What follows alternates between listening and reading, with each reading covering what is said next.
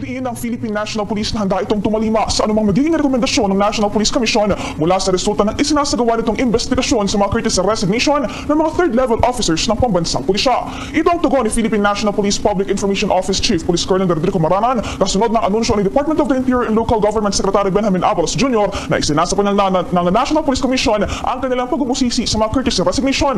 Yan sa ngayon ay hinihintay na lamang ang paglalabas ng resulta ng naturang investigasyon at anuman daw ang maging resulta nito ay agad na ipapatupad ng pambansang pulisya. These coming days ay magkakaroon ng uh, joint task force ng Pulcom at ang PNP. Po ay inaasahan natin na ilalabas nila yung uh, resulta ng investigation na ginawa ng uh, National Police Commission at kung ano man po ang mga uh, findings at recommendation doon sa investigasyon na nagawa ang po bilang ahensya sa ilalim ng National Police Commission ay tatalima po sa mga recommendation at uh, ipatutupad po natin kung ano mga uh, findings at recommendation ng uh, National Police Commission.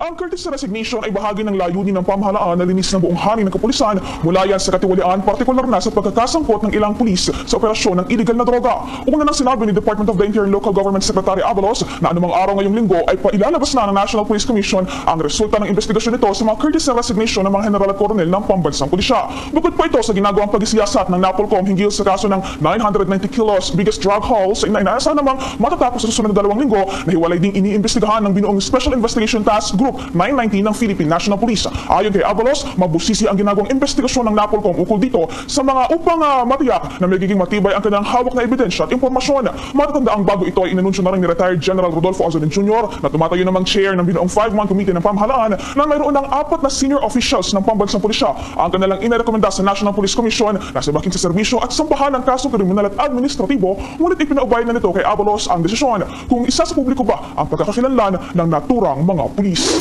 Apat raw sa sampung mga Pilipino ang naniniwala na ang Reserve Officer Training Corps program ay dapat maging optional lamang sa mga curriculum ng mga senior high school students.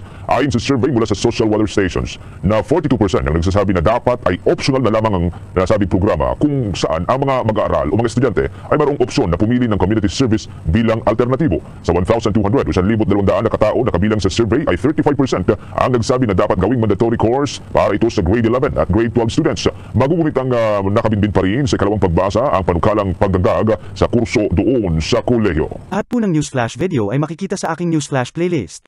Sa mga gusto naman po ng mga biblical topics, punta po kayo sa aking channel na Maha Free TV.